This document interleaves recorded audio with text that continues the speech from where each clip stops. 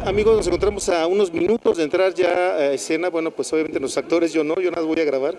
Estamos ahí con una estrella, una estrella reconocida por todos, internacional, de hecho, Pocholo. ¿Cómo estás, Pocholo? Pues gracias por lo de estrella, pero pues aquí estoy muy contento de verdad porque esta invitación que me hace Laurita Lugo de venir a padrinar su, su obra de, con todos los compañeros, para mí es un halago y una satisfacción realmente de poder venir a padrinar a las nuevas generaciones, a la gente que tiene hambre de teatro, a la gente que se entrega, a la gente apasionada, que, que se entregan en las tablas.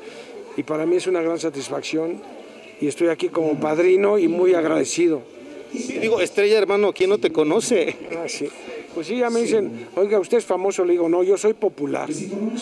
Pues eh, mi querido Mike, eh, bienvenido al, a que te subas al barco de las ilusiones teatrales en las cuales se marca un destino a tu vida y agradecerte infinitamente todo lo mejor de tu apoyo hacia las nuevas generaciones y definitivamente eh, en esta época aventarse a producir una obra de teatro pues se necesita mucho valor y tú lo tienes, te auguro un éxito y mucha mierda.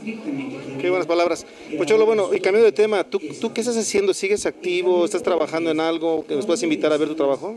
Pues sí, tengo proyectos de programas. Eh, ahorita estoy en espera de arrancar una serie de lo de papá soltero, que ahora va a ser abuelo soltero y, haciendo programas unitarios, como dice el dicho, La Rosa de Guadalupe. Eh, se va a estrenar una película que hice en, en este, Puerto Peñasco, Sonora, en enero.